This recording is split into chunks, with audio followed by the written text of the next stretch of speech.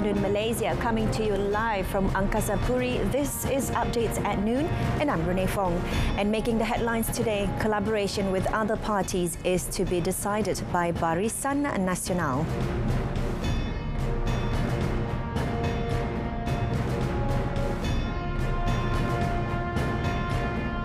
Biden hails U.S. midterm vote as good day for democracy.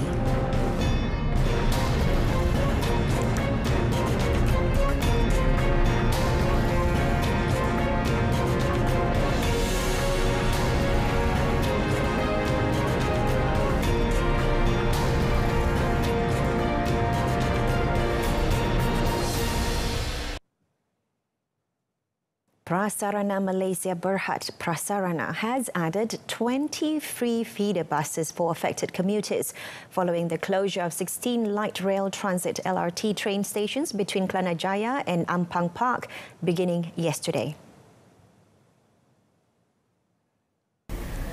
Prasarana, through a statement, said that the number of feeder buses has now reached over 100 to accommodate passengers on five routes involving LRT Line 1 Ara Damansara Station, Pasar Seni Station, Line 2 Ara Damansara Station, Kelana Jaya Station, Line 3 Kelana Jaya Station, Pasar Seni Station, Line 4 Pasar Seni Station, Masjid Jamek Station, and Line 5 Masjid Jamek Station, Datuk Keramat Station. It said the move was made following the cooperation from Smart Selangor. Prasarana further noted that they would also station 80 personnel at the relevant stations to facilitate passenger movement. It said that Rapid Rail will provide free fare for each day of service disruption to Kelana Jaya Line LRT users, and a detailed information will be announced soon. It said the status of the Kelana Jaya line would be regularly updated on its social media channels and mass media. The LRT service between between the Jaya and Ampang Park stations has been suspended for seven days since 6 a.m. yesterday for passenger safety reasons and time needed to identify the cause of the service disruption. A bus carrying about 60 university students was believed to have skidded and overturned in Jalan Slim Lama, Tanjung Malim yesterday evening. Malim Police Chief Superintendent Muhammad Hasni Muhammad Nasir said police received a call at about 7 p.m. regarding the incident. Elaborating further through a statement, the Mualim police chief said the accident occurred after the Kota Malim Prima Junction and preliminary investigations found that 11 passengers, including the driver, suffered minor injuries and were taken to Slim River Hospital for treatment. He said the cause of the incident is still under investigation and any updates will be informed soon. Meanwhile, Tanjong Malim Fire and Rescue Station Chief Muhammad Zairul Fahmi Muhammad Nazari, when contacted by the media said the fire brigade had gone to the scene for rescue work. In an updated statement later, Superintendent Muhammad Hasni said preliminary investigations found that the incident was believed to have occurred due to a burst tire when the bus was travelling from University Pendidikan Sultan Idris UPSI, Sultan Idris campus, to the Sultan Azlan Shah campus. Several photos and videos of the overturned bus went viral on social media and they were also uploaded on Facebook Facebook by Barisan Nasional candidate for the Tanjong Malim parliamentary seat, Datuk Dr. Mah Hang Soon, who happened to pass by the area. The decision to forge cooperation with any other parties if Barisan Nasional BN was unable to form the new government after the 15th general election GE15 will be a decision made by the coalition and not by any individual. Prime Minister Kam UMNO Vice President Datuk Sri Ismail Sabri Yaakob said this includes the possibility of BN collaborating with various other political parties. Commenting further on the matter, the Premier said such a big decision like this must be made by the party, not any individual. Meanwhile, on the rumours that 18 November is to be announced as a special public holiday and that the salary for civil servants will be paid on 17th November, Datuk Sri Ismail Sabri said the matter would be announced soon. He said the matter, though has been viral on social media, he requested the Rakyat to wait for an official announcement regarding the matter. Earlier, the Premier went on a walkabout about and met with the people in Durian Tunggal.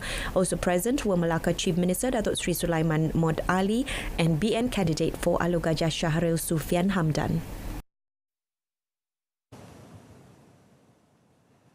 Communications and Multimedia Minister Tan Sri Annuar Musa, in his effort to help Barisan Nasional BN candidates to campaign, has urged voters to give their support to young candidates fielded by the coalition in the 15th general election GE15. Tan Sri Annuar, who is also the Ketereh UMNO division head, said the selection of young candidates is a good approach to showcasing their leadership potential. Tan Sri Annuar said nominating fresh faces as a candidate may be interpreted as an disadvantage, but looking back, the minister himself was 28 years old when he was nominated as a candidate and was able to gain so much experience by serving so long. He also said that nominating fresh faces is also a sign of BN looking to the future to groom young people who have lots of potential. The minister said this at a ceremony to hand over devices in conjunction with the Keluarga Malaysia Digital Economic Centre PEDi Family Day with the community at Felda Lurah Bilut yesterday. He was with, joined by Wong Siew Man, who is BN's candidate for the Bilut State Legislative Assembly seat. In the GE15, Wong will be challenged by Muhammad Shokri Mahmud Pejuang, Datuk Sri Chandra Balabeda Perikatan Nasional, and Lee Chin Chen Pakatan Harapan.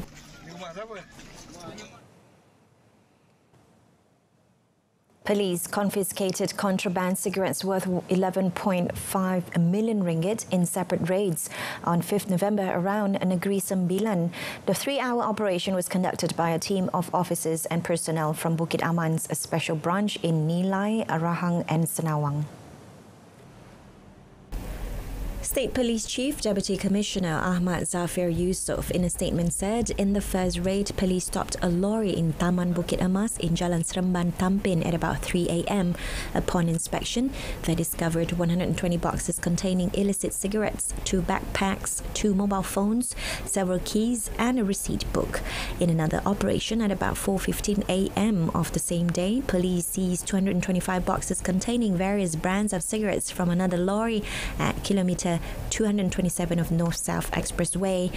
In the third operation, they confiscated another 250 boxes from a lorry at car park lot in Jalan Taman Commercial Senawang 4. The case is being investigated under Section 135, subsection 1, subsection D of Customs Act, which carries a fine of between 10 to 20 times of the customs duty or 50 to 200,000 ringgit, whichever is the greater amount. Bank Muamalat Malaysia Berhad and Phillip Capital Group Malaysia are targeting an investment of 100 million ringgit within five years through Sharia compliant online private managed accounts and unit trust funds. Director of Retail Banking Zuri Rahimi Zainal Abidin said members of the public can invest with a minimum value of 5,000 ringgit with offer on its digitally sophisticated investment platform. Jika kita melihat kepada private managed account, sebelum ini ianya hanya uh, mampu uh, pelaburan ini mampu dibuat oleh uh, high net worth customer di mana mereka yang mempunyai kadar berpendapatan tinggi dan mereka yang sudah biasa membuat pelaburan.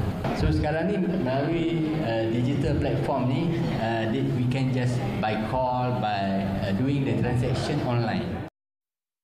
Speaking after the launch of the private managed accounts and agreement signing ceremony between Bank Muamalat and Phillip Capital Group Malaysia recently, Zuri Rahimi said as of 7th November, the new investment products have already collected 1.2 million ringgit during its two weeks pre launch period.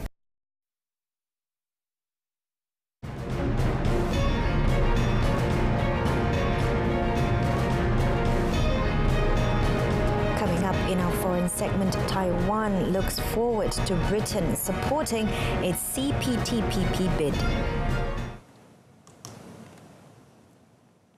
US President Joe Biden on Wednesday hailed a good day for democracy after a surprisingly strong performance in midterm elections, with Republicans inching toward a slim majority in only one chamber of Congress.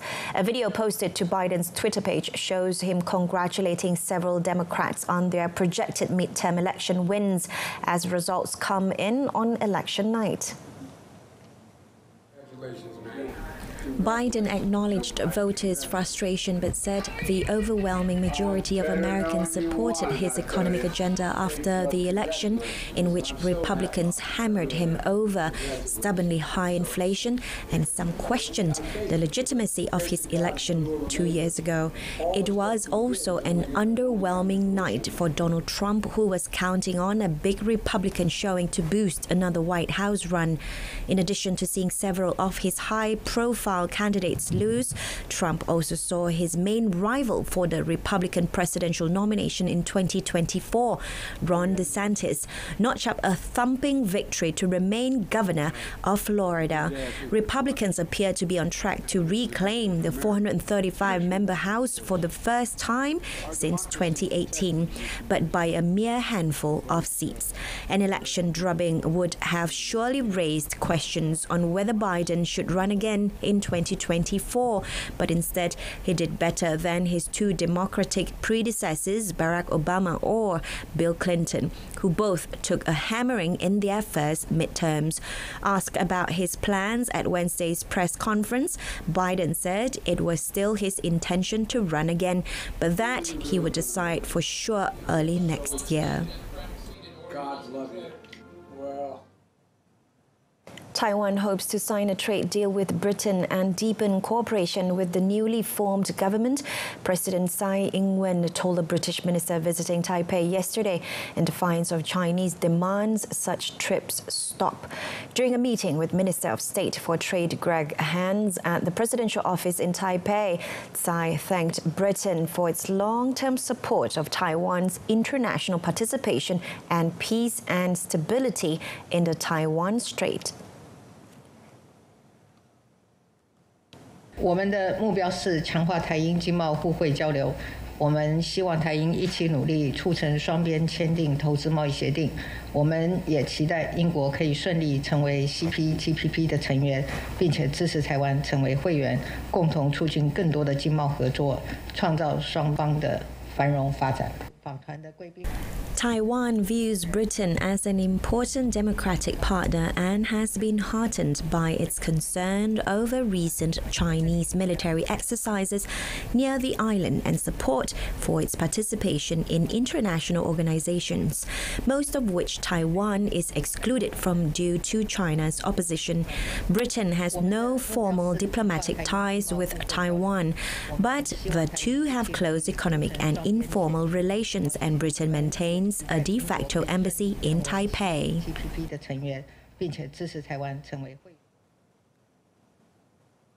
Japan strongly condemned North Korea's latest missile firing on Wednesday and called Pyongyang's repeated launches absolutely unacceptable. The missile flew at an altitude of up to 50 kilometers and covered a range of 250 kilometers.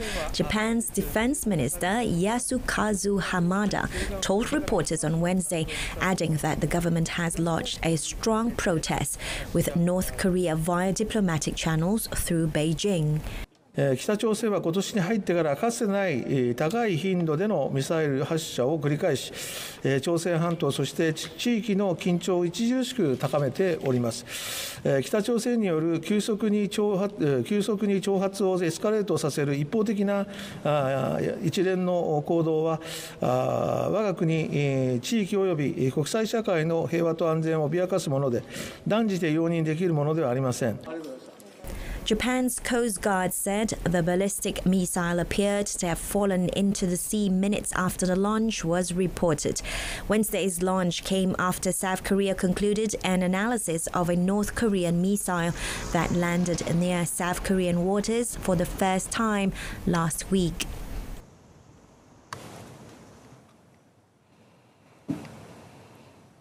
Russian Defense Minister Sergei Shoigu ordered Moscow's troops to withdraw from the city of Kherson in southern Ukraine, which Ukrainian forces have been advancing on for weeks. During a televised meeting, Shoigu told Russia's commander in Ukraine, Sergei Surovikin, to begin to pull out troops. The commander had proposed the difficult decision of pulling back from Kherson and setting up defenses on the left bank of the Dnipro River.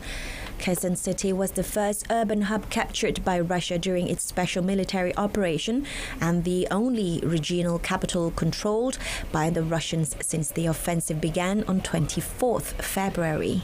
Ukraine's forces have for weeks been capturing villages en route to the city near the Black Sea, and Kremlin installed leaders in Kherson have been pulling out civilians. A Ukrainian victory in the Black Sea region would cut off the land bridge that the Kremlin established from Russia to the Crimea, the peninsula, which Moscow annexed in 2014. It would also return Ukraine important access to the Sea of Azov and leave Russian President Vladimir Putin with little to show from a campaign that has turned him into a pariah in the eyes of the West. Meanwhile, Ukrainian President Volodymyr Zelensky said that Ukrainian forces were gradually moving forward in the region. In his nightly video statement, Zelensky did not give details of advances in the south of the country. He said any advances were hard fought and stressed the need for caution rather than celebration.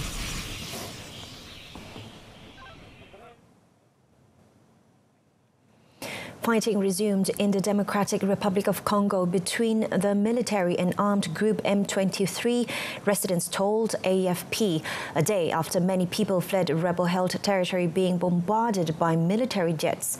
Residents told AFP they had heard the sounds of more fighting by the evening after a tense but quieter day. Officials said that the DRC's military used newly deployed jets to bombard M23 positions in the east of the country as some residents fled across the border.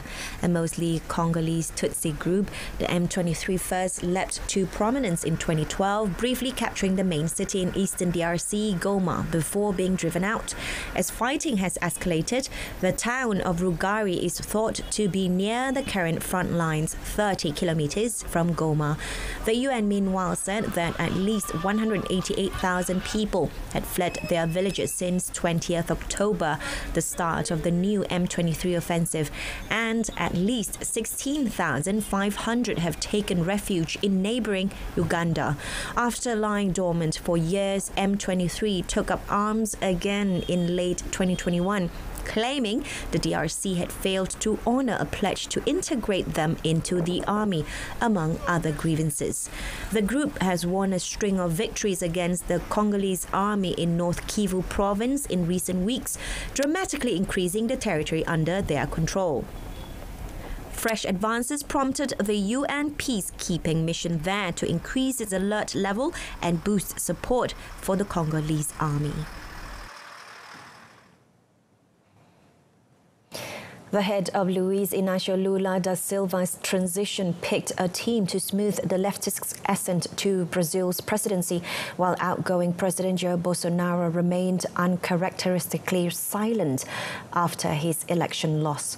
Lula's vice president-elect Geraldo Alckmin named a political council and a team of economists, among others, who will lay the groundwork for the changeover of government on 1st January. Lula will meet with the leaders of both chambers of Congress in Brasilia to discuss budget issues as he looks to implement his campaign promises of increased social spending while grappling with the struggling economy. Lula, who will be serving a third term as president, is facing a far tougher outlook than the commodities fueled boom he presided over in 2000s.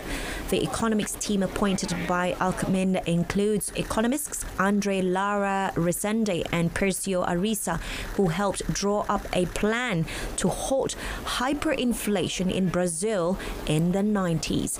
Meanwhile, Bolsonaro has all but disappeared from public view and even his beloved social media accounts. The far right president responded to his defeat in the 30th October runoff election with nearly two days of silence as his supporters blocked highways in protest and urged the military to intervene to keep him in power. Bolsonaro has not posted to his usually bustling Twitter account since the runoff, and he has even stopped giving his weekly live address on Facebook, one of the main communication channels he has relied on to speak to his base throughout his presidency.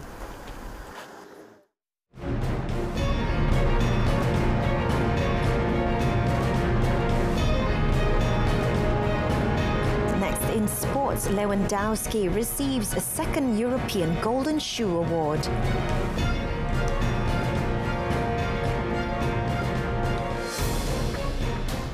Florian Niederlechner scored twice as lowly Augsburg twice came from behind to hold title-chasing Union Berlin to a 2-all draw in the Bundesliga this morning. Union climbed to second in the table with 27 points from their 14 games. Four behind leaders Bayern Munich, while struggling Augsburg moved four points clear of the relegation zone. Union opened the scoring on seven minutes with an excellent finish from Becker, who was played into space and were fewer chances in the second period. Union will feel aggrieved they did not get all three points. Giesselmann thundered a free kick against the crossbar, Polish striker Robert Lewandowski received his second consecutive European Golden Shoe for 2021-22 season. Now a Barcelona forward, Lewandowski scored 35 goals for his ex-club Bayern Munich in the 2021-22 German Bundesliga season to bag this prestigious award for a second time. The European Golden Shoe Award was given to the top scorer of the European leagues each season. The Barcelona player added the award to the Gerd Müller Trophy he was given at the recent 2022 Ballon d'Or Gala. Former Barcelona captain Carles Puyol presented the award to Lewandowski. He received the trophy after scoring 35 goals in the German Bundesliga last season for his previous club, Bayern Munich.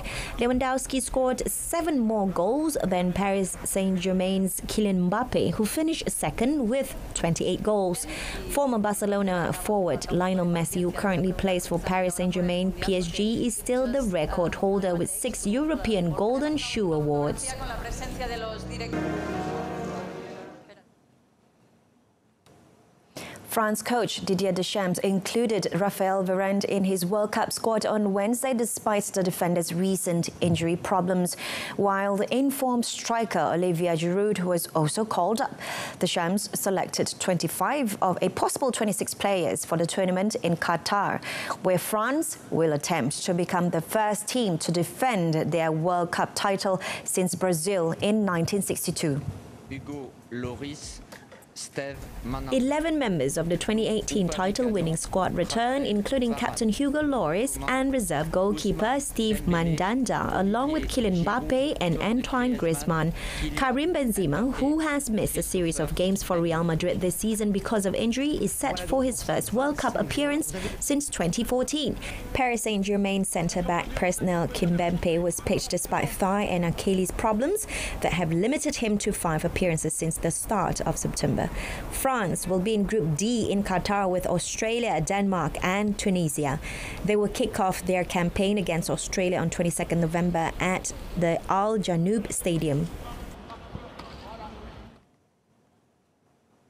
Moving on to tennis, Dominic Stricker booked his spot in the semi-finals of the Next Gen ATP Finals on Wednesday, following a thrilling five-set win over local favourite and second seed Lorenzo Musetti in Milan. The Swiss seventh seed, who saw off Jack Draper in three tiebreak sets in his opening red group match, prevailed 4 3, 4 3, 3 4, 3 4, 4 3 after 2 hours and 28 minutes. The 20 year old striker, who hit 20 aces during his win, has yet to play a set that has not gone to a tiebreak in the tournament. Cheered on by the passionate home crowd, Musetti appeared to be on the verge of a comeback after saving a match point in the third set tiebreaker and going on to level the match. He also saved another match point in the final tiebreaker but hit a return wide on the next. Musetti is the highest seeded player for the year ending tournament for 21 in under players after Paris Masters champion Holger Rune withdrew to be an alternate for the ATP finals. Earlier, Draper downed Taiwan's winless Chun-hsin Tseng 1 4, 4 2, 4 3, 4 2 to back his first win of the tournament. Draper and Musetti face off on Thursday while Tseng battles Stricker in the last of the red group matches. The Ferrari in which Formula One legend Michael Schumacher won the 2003 World Championship title sold for more than $13 million at auction in Geneva. The previous record was held by another Schumacher driven Ferrari, an F2001 model sold by Sotheby's in New York in 2017 for 7.5 million. 30 million Swiss francs. The final price offered by an unidentified telephone bidder after a bidding war of more than 40 minutes far outstripped expectations, with the auction house estimating pre sale that the car would fetch up to 9.5 million Swiss francs. The auctioneer said the F2003 GA chassis 229 is one of the most significant Formula One cars of all time. Schumacher raced nine times in the car, winning winning five Grands Prix in the 2003 season and driving it when he clinched the title in Japan. He has not been seen in public since suffering serious injuries in skiing accident in 2013. The model was first brought in at the Spanish Grand Prix, the fifth race of the 2003 season. Chassis 229 is by far the most successful of the six F2003 GAs that were built.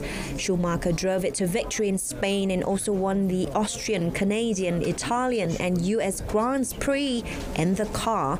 The car powered Schumacher to his sixth F1 title, a total that saw the German overtake the five won by Argentina Argentina's Juan Manuel Fangio in the 1950s.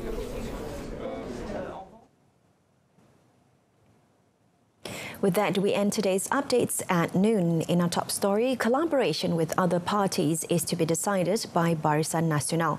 Tune in to news at 10, coming up at 10 p.m. on My Free View, Saluran Berita RTM channel 123. Till then, yang sahih di RTM, hashtag MyPRU15. Thank you for watching. I'm Renee Fong. Have a pleasant afternoon.